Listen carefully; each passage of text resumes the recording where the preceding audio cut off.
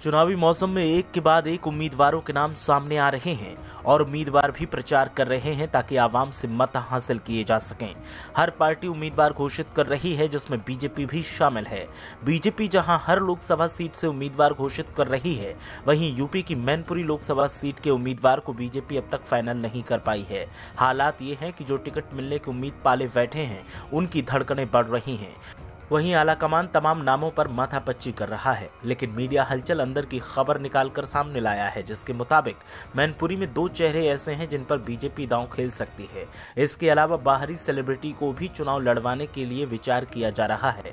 फ़िलहाल जिन दो चेहरों की हम बात कर रहे हैं, उनमें पटियाली से बीजेपी विधायक ममतेज शाक्य का नाम सबसे आगे चल रहा है। बताया जा रहा है कि ममतेज शाक्य पर बीजेपी मैनपुरी में दांव लगा सकती है। साथ ही पूर्व उम्मीदवारों की अगर बात की जाए तो प्रेम सिंह सिंह शक का नाम भी रेस में आगे है, लेकिन मोहर किसके नाम पर लगेगी, इस पर सस्पेंस लगातार बरकरार है। बताया जा रहा है कि ममतेश साक्य फ़िलहाल रेस में आगे हैं। वहीं बात करें सपा की तो सपा ने मुलायम सिंह का नाम घोषित कर दिया है। कांग्रेस ने मुलायम सिंह के सामने अपने प्रत्याशी को न उतारने का फैसला लिया है। ऐसे में बीजेपी और सपा के बीच कड़ी टक्कर देखने को मिलेगी।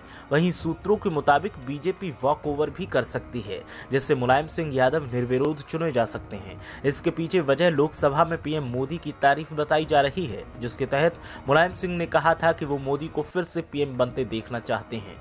सूत्रों की माने तो बीजेपी के वॉक ओवर के फैसले से एक तीर से दो शिकार करने की जुगत है।